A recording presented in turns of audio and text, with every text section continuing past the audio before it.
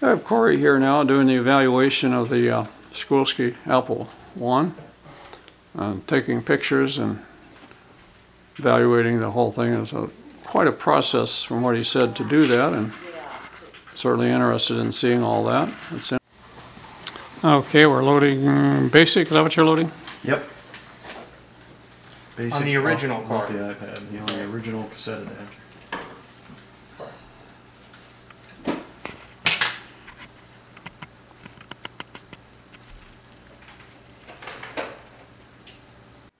Okay, about the real proof. So this is like the real proof it's all running because uh, if anything's wonky, BASIC won't load, but BASIC also won't be able to remember an entire program.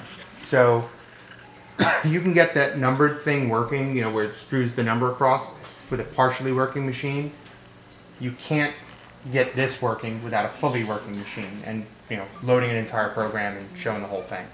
And we'll run this in a minute. Which program are we actually So we are running the 8K Apple Star Trek Okay, which in order to run this, you need a fully working machine with BASIC. We loaded it off of the original ACI, the original Apple cassette adapter.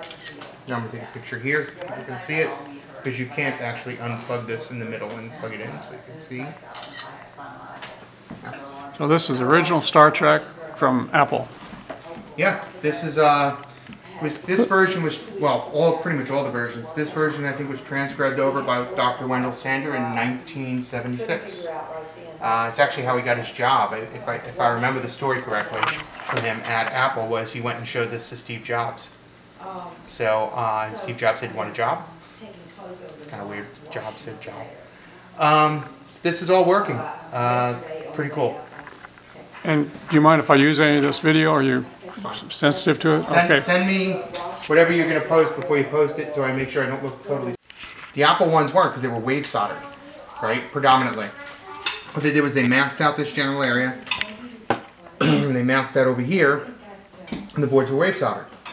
So the so the first thing you do is the boards are basically um, the parts are held in by gravity, right? So there's a, a really interesting um, if you want to take a look, you want to steal my, my cheaters. I don't know how well you you not you, but you can actually see the puckering of.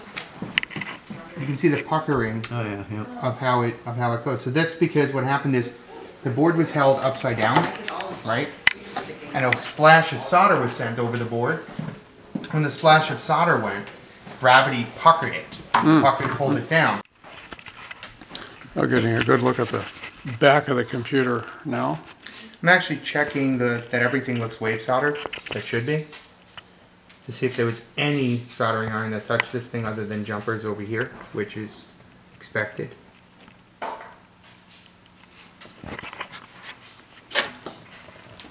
Um, other things you can do is you can date them by some of them had the, their you could tell which which person at the shop did it right. Sometimes this is reversed the other way. Sometimes it's reversed this way. There's a lot of little telltale signs that we look for to help kind of uniquely identify. And I know you put the extra jumpers on for testing with the CFFA, um, but um, and we'll leave those on just because while they're just kind of not really 100% necessary, which useful, and they're not kind of original. The original looks like all the all the black wires. Um, it'll help us identify the board, but we obviously did not.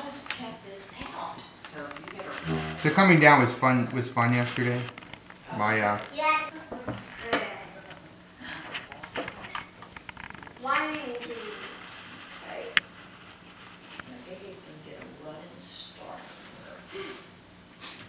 person. Yeah, all of us have our own unique soldering styles. Yeah. So this just wasn't done by one of them. So Jobs and Kottke were the ones who pretty much put this.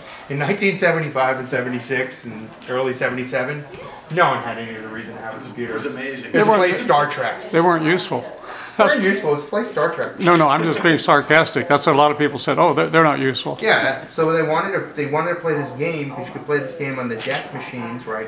And, I heard that from a lot of people at the university too. Oh, that microcomputer? Oh, Yeah. they're not useful. Fold up, you're able to push cards in Yeah, push cards in and out. Yeah, yeah. But if you ever wanted to remove it, you can't. You have to solve, you just use the solvent. So at the moment, this computer is uh, fully, fully functional. Yep. Fully functional.